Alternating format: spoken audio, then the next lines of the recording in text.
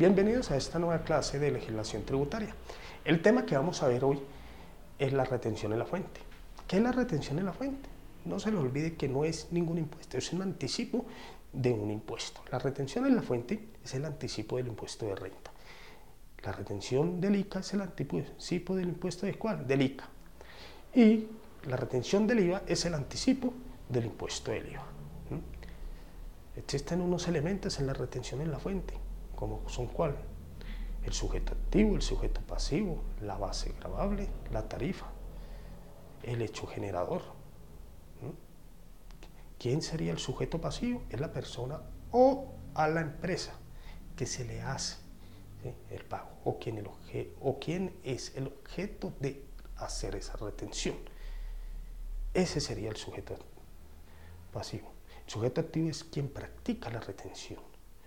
¿Cuál sería el hecho generador? La transacción que se está realizando. ¿Cuál sería la base gravable? El monto al que se le va a aplicar la retención. ¿Cuál sería la tarifa? La tarifa sería el porcentaje que se le va a aplicar dependiendo del tipo de retención que se vaya a practicar. ¿Cómo así? Si se hizo una compra, obviamente, si son compras generales, la tarifa sería del 2.5.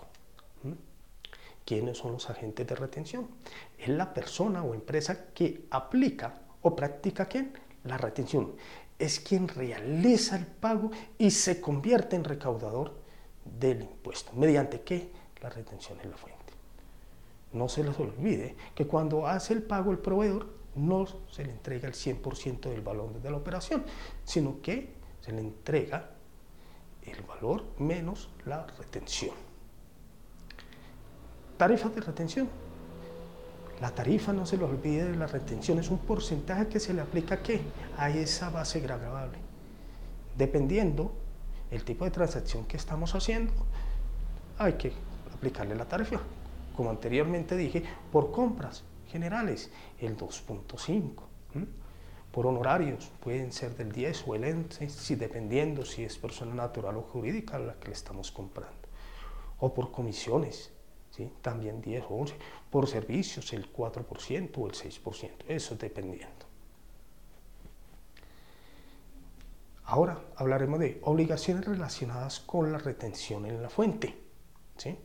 Existen ¿qué? una serie de obligaciones respecto a la retención en la fuente, entre las que tenemos que o mejor dicho, qué obligaciones tiene la persona que es agente retenedor. Primero, declarar los valores que retenidos.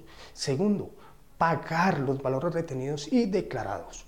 Tercero, certificar esos valores retenidos. Y por último, responder por los valores dejados de retener estando obligado a hacerlo. Gracias.